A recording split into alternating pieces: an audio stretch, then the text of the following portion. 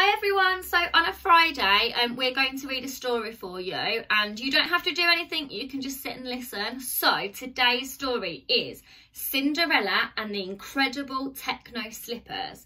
Right, are you cosy? Are you comfy? Are you ready? Let's go. Right.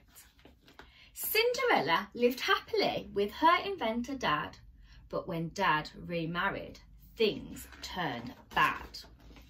Cinderella, clean up this horrible mess. Her stepmother's twins made a mess of everything. They took Cinderella's toys and they broke the lot. But Cinderella took the broken pieces to build cool robots and a pair of incredible techno slippers. So when Dad lost his job at the toy factory, Cinderella really wanted to cheer him up at the closing down party. It would be the perfect place to dance in her techno slippers.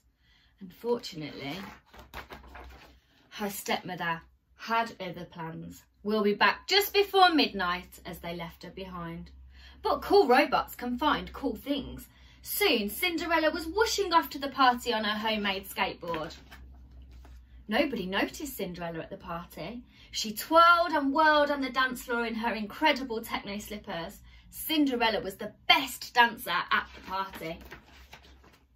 The factory owner gasped, oh, those slippers are amazing! But then the clock struck midnight and ding, dong, oh no, I have to get home before the others. Cinderella left in such a rush, one of her slippers slipped off. I need to find the inventor of this incredible slipper, the factory owner cheered. The person who made it shall have a job right here. Nobody could get the slipper to work. I can't turn it on, said one of her stepsisters. Why don't you try it on? The factory owner asked Cinderella. It was a perfect fit. Cinderella put on both slippers and began to dance. I think the toy factory is saved, Cinderella's invention was such a success that she saved the toy factory and Cinderella was now far too busy to clean up the people's mess. The end.